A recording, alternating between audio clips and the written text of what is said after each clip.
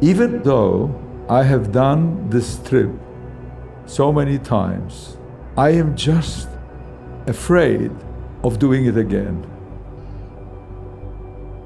I am subject to nightmares that start all over again. So all my feelings are not to want to do it.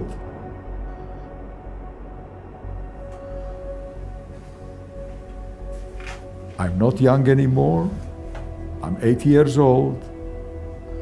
And my greatest fear is that even when I come back home, I'm going to start suffering from the same nightmares over and over again.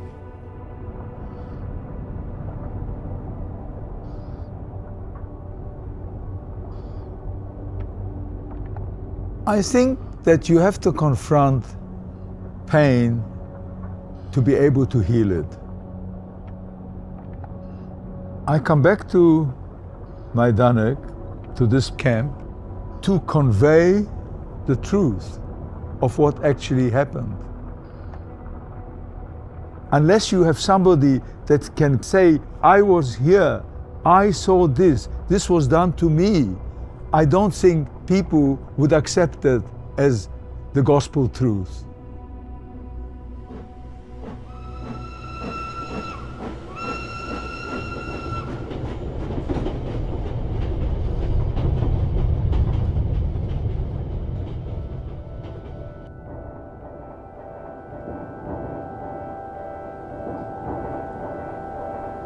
When we were pushed into those wagons to take us to the east, we didn't know where we were going. All I remember screaming, the crying of children, and people were dying from suffocating.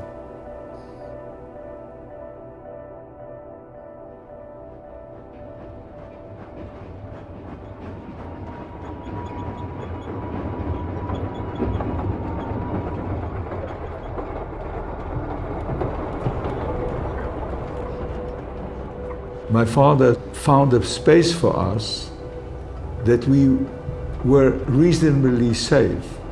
And he kind of almost like surrounded us with his hands. I always imagined that this, these were wings of an angel because he kept us together. My mother, my twin sister, and I, we were like one, and I don't remember how long we drove.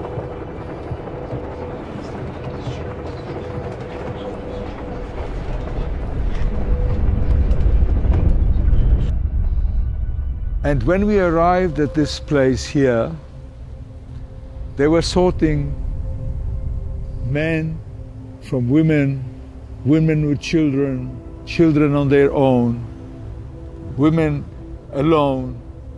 And I lost the sight of my sister Sabina, but I was watching my mother all the time. But suddenly she must have noticed my mother too. So she separated herself from the, from the children and she ran towards my mother.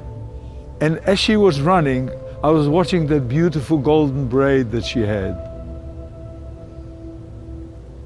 She came to my mother and she hugged her.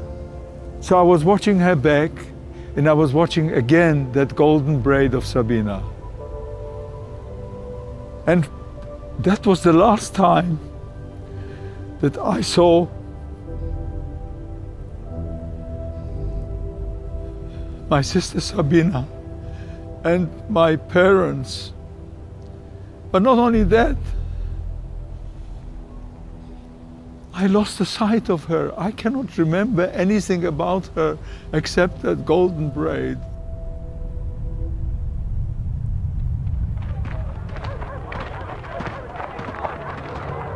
Suddenly they started chasing us, and I found myself at this door. And there was this vat full of what I thought was water. A kapo was standing there, and he told me to jump in. I jumped into it, and then I didn't completely immerse myself, so he hit me over the head, and then I jumped out, and suddenly all my orifices were burning because it was full of disinfectant, and I was, I was like on fire. And then when I came out, I noticed these showers, and I said to myself, now I'm going to die because in the Warsaw Ghetto, we knew that the Germans, the Nazis tried to fool us that we were going to have showers, but gas came out of these showers and not water. So I decided immediately to say my prayers because I knew I was going to die. So I started saying my prayers. Shema Israel, Adonai Eloheinu, Adonai Echad, Baruch Shem Kivot Malchuto Lolam Vaed, V'yahavta Adonai Elohecha, בכל לבבך ובכל נפשך ובכל מודיך, והיו הדברים האלה, אשר נוחים מצב כל לבביך, ושננתם לבניך, ודברת בום בשבתכו ובשיחם, ובלכתכו בדרך, ובשופכו ובקומך, וקשרתם לאות על ידיך. והיו לתותבות בין עיניך. וזה טוב בעיניך, ודווקא מהמזוז בעשיך ובשעריך. But water came out of these showers.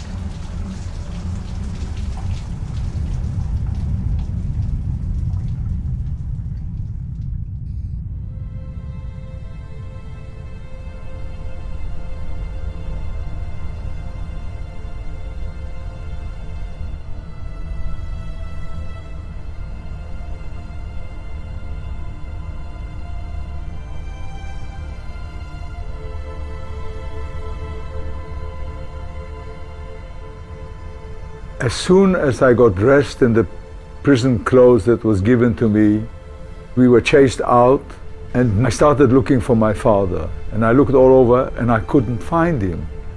Suddenly I saw a man who I knew in Warsaw. I ran up to him and I said, Please, did you see my father? Where's my father? He looked at me, he didn't answer.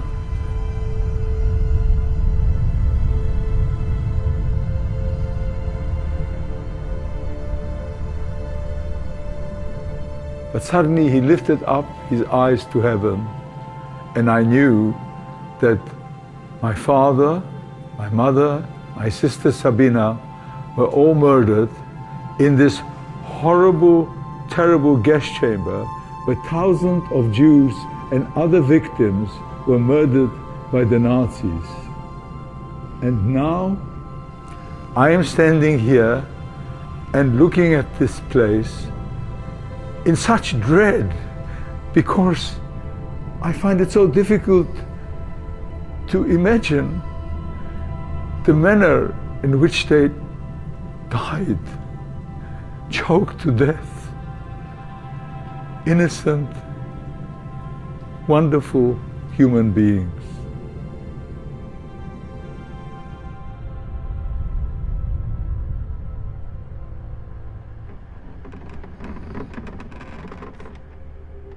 This place, this camp, was a place of torture. At any second, at any minute, any kapo, any person who was in power over you could make it so that you would be sent to the gas chambers. So you lived in, you, so what you did is you isolated yourself in a kind of suspended animation that you didn't think that you were actually here because you hid yourself. You tried to make yourself invisible. You were not there to be seen so that you should be able to be sent to the gas chamber and murdered.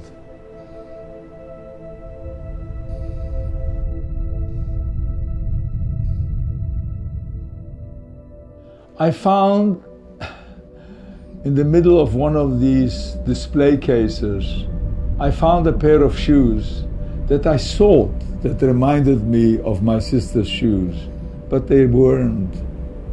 They weren't. They were just my fertile imagination that wanted so badly to find something to remind me, something to kind of I could touch, something that I could feel that belonged to her. But I couldn't and I didn't and it was quite unrealistic for me even to try. But you always, uh, humans' emotions cannot be explained. Human emotions are so deeply rooted. What that what you want, you can't always achieve. And I've never been able to find it. And to this day, I cannot visualize anything. My the memory of my sister has completely disappeared from childhood. We were twins. We were one body, born together in my, uh, we were together in my mother's womb. And yet, everything that happened to her, right from the age of, of, of our little, as, as babies, until the age of 11 when we arrived here, everything except the braid, that blonde, beautiful braid, I can see. So whenever I think of my sister called Sabina, I see a braid, everything else has gone.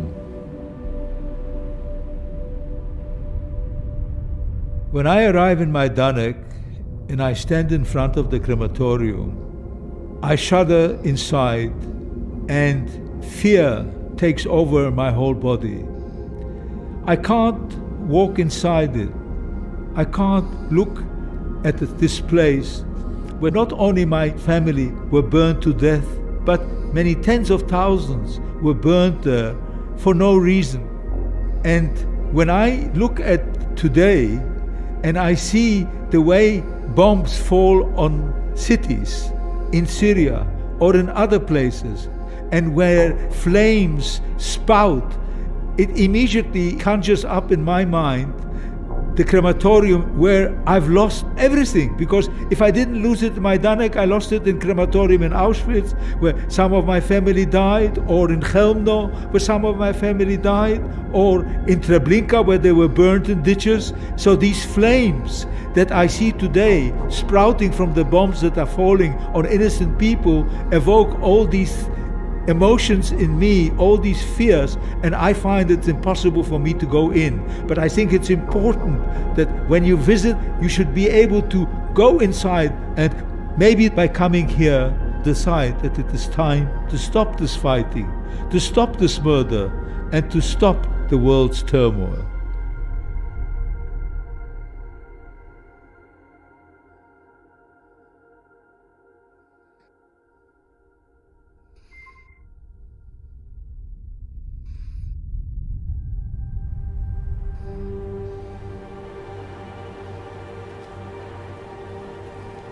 This is the mausoleum where the ashes of the murdered victims of Majdanek are reposing.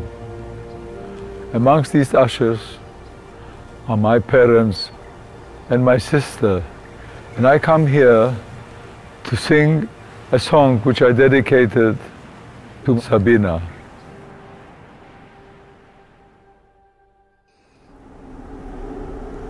Dort nicht weit.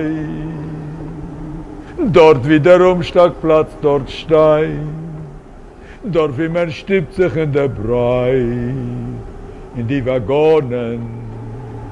Dort wie ein Kind schreit zu den Mammen. Oi Mama, lass mich nicht allein. Ich will gehen mit dir zusammen.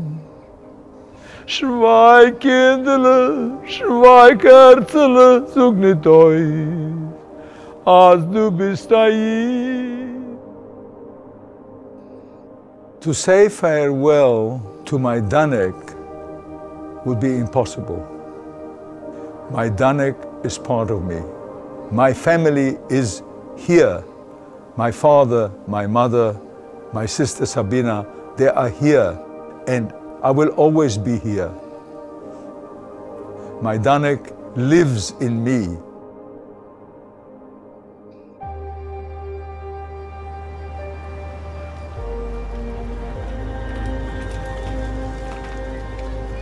Hello. Hmm,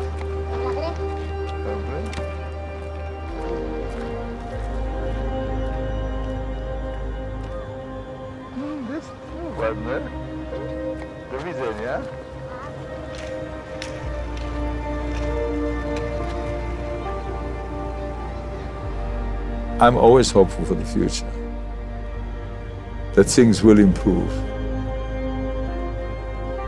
I don't know if it'll be in my lifetime, but maybe in yours.